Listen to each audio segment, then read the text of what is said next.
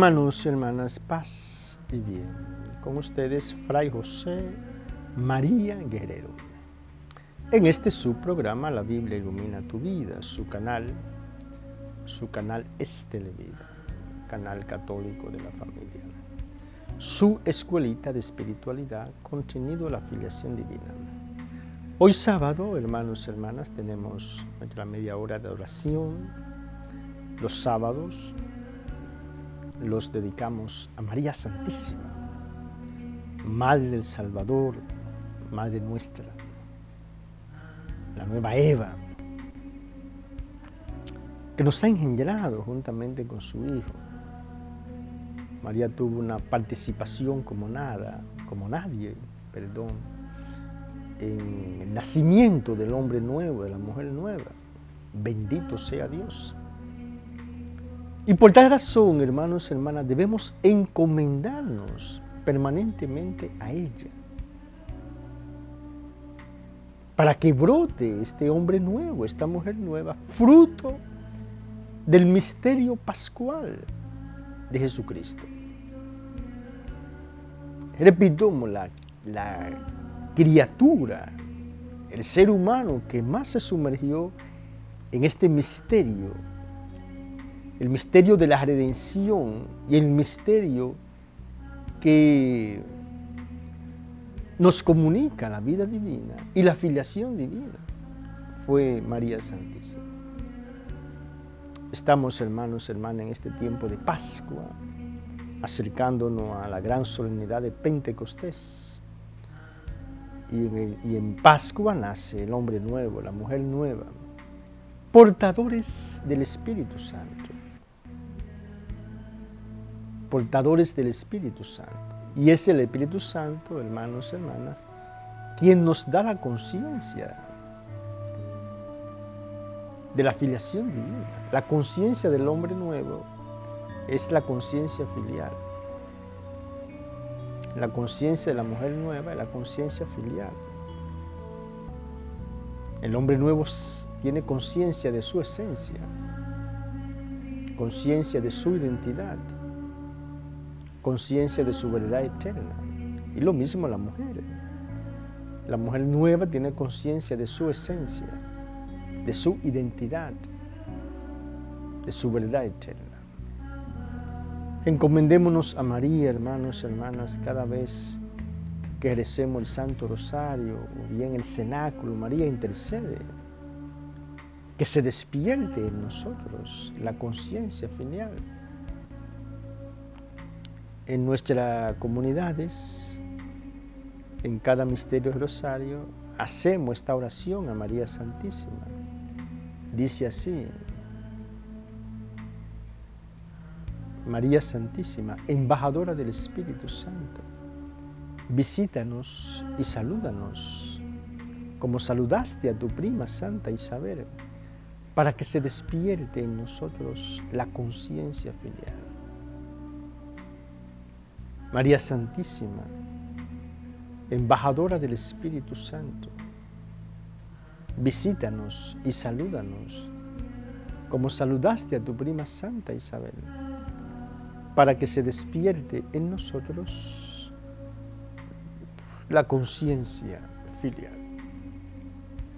Hermanos hermanas, estamos en este año centenario, en agosto, el día 15 de agosto, este año lo finalizamos. Que en este año nos comprometamos, hermanos, hermanas, nos comprometamos con María Santísima, dar este salto cualitativo. Y un salto cualitativo que se expresa de dos maneras.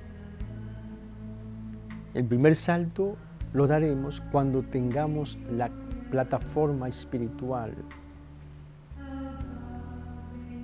Ustedes ven que, o me escuchan, ¿verdad? Que utilizo mucho la plataforma. Y adrede, ¿verdad? Lo hago porque hoy la plataforma digital, plataforma digital, hoy en esta época de la digitalización de la cibernética, una plataforma cibernética, una estructura, una estructura digital. por la estructura nuestra es espiritual, una plataforma espiritual. Es decir, hermanos, hermanas, que cuando logremos, cuando logremos la adoración perpetua, lo vamos a lograr pronto, en todas las parroquias de República Dominicana ya habremos dado el primer salto cualitativo. Esto es un salto como tal, esto es una grandeza. Y esta plataforma nos permitirá dar otro salto. La evangelización, una iglesia eh, ferviente, orante, mística, una iglesia profética, una iglesia misionera, una iglesia que llega con eficacia a todas las estructuras que conforman una sociedad. La política, la política, el comercio, la economía, la educación, la salud, la relación con la madre tierra. Allí va a llegar la sabia, poderosa, la sabia poderosa del Evangelio de Jesús. Ayer orábamos y explicábamos, hermanos, hermanas, donde Jesús está, hay vida. Internalicemos esta verdad, hermanos, hermanas. Y hagamos realidad esta verdad. Donde Jesús está, hay vida. ¿Cuántos hogares de pobres, de ricos, donde no hay vida? ¿Cuántas familias más que millonarias divididas por la maldición de la herencia? ¿Cuánta familia pobre, más que pobre, dividida? El odio, el rencor, el pecado, consumo de drogas, alcohol, indecencia, eh, música, totalmente con un contenido alienante, lo que invita es al sexo desenfrenado, al consumo de droga, que denigran al ser femenino. Allí no hay vida, allí lo que hay una cultura de muerte. Donde Jesús está, tanto en los ricos como en los pobres, hay vida hay paz, solidaridad, servicio. Entonces afanémonos, hermanos y hermanas, para que llegue pronto el primer salto cualitativo, la adoración perpetua, el rezo del cenáculo. Y veremos, hermanos hermanas, veremos, veremos una iglesia evangelizada, una iglesia evangelizadora, una evangelización, repito, que llega al corazón de todos los elementos que conforman una sociedad. El quehacer político, el quehacer económico, la comunicación.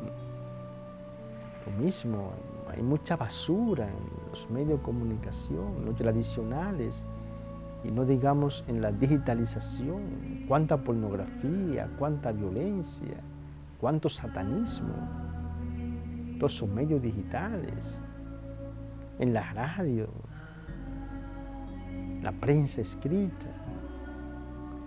Y cuando el Evangelio brota de un corazón orante, llega. Pero primero la oración, hermanos. Y luego la misión, la pastoral, la pastoral juvenil. Hay que ir pensando, hermanos y hermanas, como los jóvenes, un recto para la iglesia hoy. Estos jóvenes, estos jóvenes que han nacido en la cultura cibernética, con una mentalidad totalmente diferente a los jóvenes de la, recuerdo mi juventud, todo el mundo, en los años 80. Entonces, hermanos, hermanas, vamos a poner a poner esta plataforma espiritual sólida, sumamente sólida, potente, con una velocidad mayor que la velocidad de la luz, que lo espiritual siempre trasciende lo, sensible. Démonos prisa, hermanos, hermanas, por aquí, por aquí es el camino correcto. El camino del pueblo de Dios. La fuerza nuestra está en la oración. Como citamos siempre en nuestro texto paradigmático del Antiguo Testamento. Éxodo 17, del 8 al 16. Tres hombres en la cima de una montaña deciden el curso de un acontecimiento. Tres hombres en la cima de una montaña deciden el curso de un acontecimiento.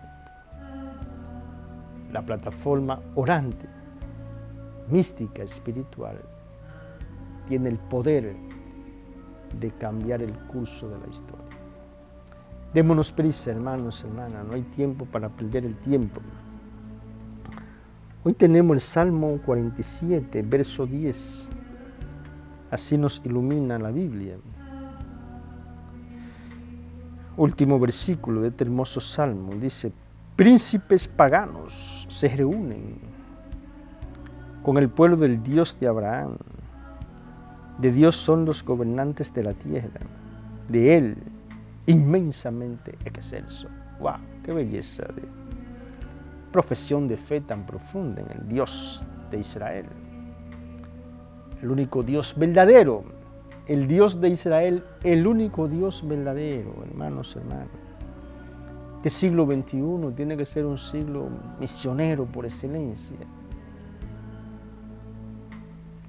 El Dios verdadero es el Dios de Israel, el Dios cristiano, el Dios de los cristianos, uno y trino. Por eso el afán misionero, que todos los hombres y mujeres que creen en Dios, todos los hombres y mujeres que creen en Dios, ya deben venir al árbol, a la sombra del árbol de la Iglesia Católica. El árbol de la Iglesia Católica.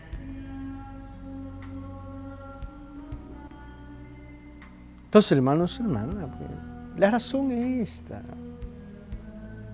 No existe, como creían los paganos, los romanos y los griegos, no hay un panteón de dioses. en el cielo no hay muchos dioses. Solamente existe un Dios. El Dios que se fue revelando progresivamente al pueblo de Israel y luego el Dios que se revela definitivamente. Que el Dios no conoció al, al Dios uno y trino. El antiguo Israel no conoció a Jesús. No, conoció que Dios es un misterio eh, de unidad y de diversidad. Es una gracia de los cristianos. Que solamente existe Dios.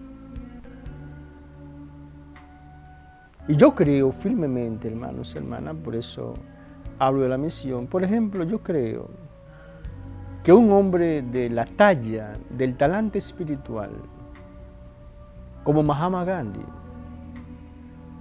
que existió en el siglo pasado, gran Mahatma Gandhi, el siglo XX. Yo creo que este hombre, de, como del talante espiritual de Mahatma Gandhi, este hombre está en el cielo. Ahora, ¿está Mahatma Gandhi adorando a un dios hindú? No,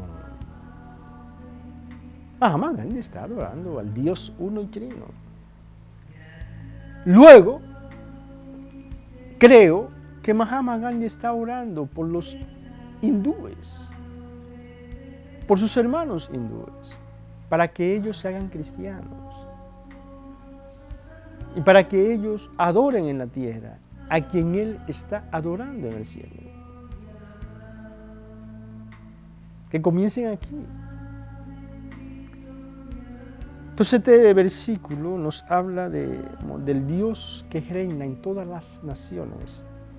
Príncipes paganos se reúnen con el pueblo del Dios de Abraham. El príncipe pagano se reúne con el pueblo del Dios cristiano.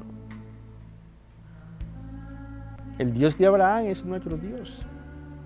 Pero Abraham no conoció el Dios uno y divino. De Dios son los gobernantes de la tierra, de Él, inmensamente excelso. Existe un solo Dios y los hombres y mujeres que buscan a Dios, que buscan a Dios, hay que decirle que el Dios verdadero se reveló, se reveló, se reveló en un pueblo concreto, en Israel. Y todos los pueblos llegarán a postrarse ante el Dios verdadero. Como dice hermosamente Jesús, cuando yo sea levantado en lo alto, atraeré a todos hacia mí. Cuando yo sea levantado en lo alto, atraeré a todos hacia mí. Por eso, hermanos, hermanas, démonos prisa, aceleremos la historia. Este siglo XXI, hermanos, hermanas, está lleno de desafíos para la Iglesia Católica. Debemos trabajar inmensamente para que todos los hombres y mujeres de otras religiones vengan a nosotros y seamos un, un, solo pueblo de Dios. El Dios verdadero se ha revelado. Y también trabajar, hermanos y hermanas, para que los hermanos cristianos, cristianos que no son católicos, vengan a nosotros. Vengan a nosotros. Que son cristianos, pero no están en la iglesia católica. Y Jesús no fundó los mormones, Jesús no fundó eh, los testigos de Jehová, Jesús fundó una iglesia católica, católica, la iglesia, el nuevo pueblo de Dios. Démonos prisa, hermanos, hermanas, aceleremos la historia, la globalización, siglo XXI es un siglo preñado de desafíos para la Santa Madre Iglesia Católica. El primer desafío, hermanos hermanas, es la mística, la alta espiritualidad. Siempre decimos que solo la conciencia mística es auténticamente global. Una conciencia inclusiva una conciencia conectada con la totalidad del universo. El primer desafío de la globalización es un desafío a la búsqueda de una conciencia mística, que es la única conciencia global, que es una conciencia inclusiva y conectadas, repito, con la totalidad del universo. Adoremos al, al Dios verbo que se hizo carne para salvar al género humano. Señor mío y Dios mío, creo firmemente que estás presente en la hostia sagrada, en la plenitud de tu amor, en la plenitud de tu poder, en la plenitud de tu divinidad. Creo en ti y te adoro.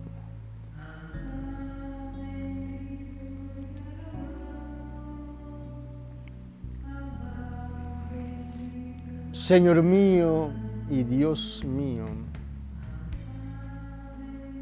creo firmemente que estás presente en la hostia sagrada, en la plenitud de tu amor, en la plenitud de tu poder, en la plenitud de tu divinidad.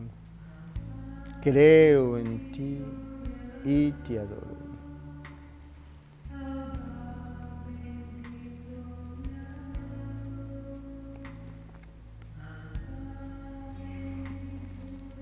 Señor mío y Dios mío, creo firmemente que estás presente en la hostia sagrada, en la plenitud de tu amor, en la plenitud de tu poder, en la plenitud de tu divinidad. Creo en ti y te adoro.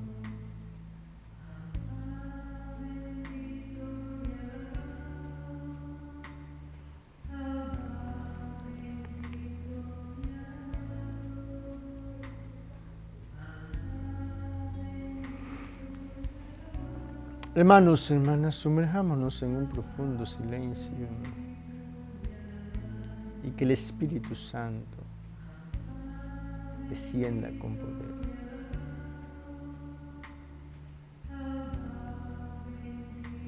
Dios te salve María, llena eres de gracia. El Señor es contigo. Bendita eres entre todas las mujeres Bendito es el fruto de tu vientre, Jesús. Santa María, Madre de Dios, ruega por nosotros pecadores, ahora y en la hora de nuestra muerte.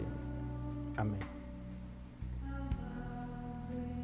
Gloria al Padre, al Hijo y al Espíritu Santo como era en el principio, ahora y siempre, por los siglos de los siglos. Amén. Amado, eterno y adorado Jesús, eres el Hijo del Dios vivo. Eres el buen samaritano que nunca pasa de largo ante una necesidad humana. Te suplicamos por la intercesión de María Santísima de San José, que pongas en cada televidente, en cada miembro de su familia, el vino que tú sabes hace falta.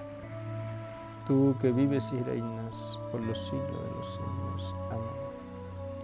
Jesús, en ti confío. Jesús, en ti confío. Jesús, en ti confío.